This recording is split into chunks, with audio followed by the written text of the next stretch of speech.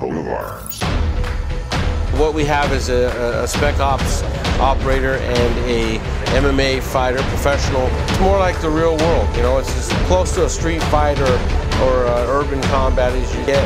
You know, one of the things Green Berets are very good at is very good at improvising. Top, bottom, knee pads, they're going to do what they do best in the ring with real equipment.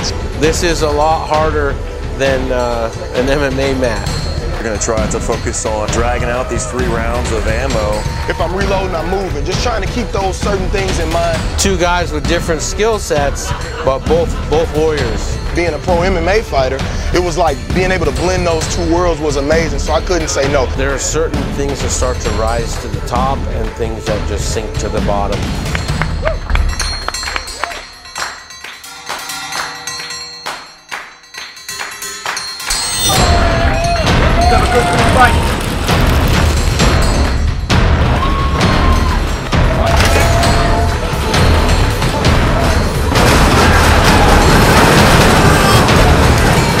Changed my strategy after that first round. Try to stay as far away from them as possible.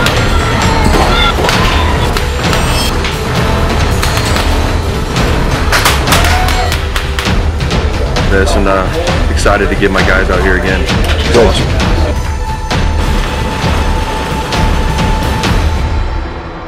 This shit is a different level, man. If you thought you were ready for this, you better think again.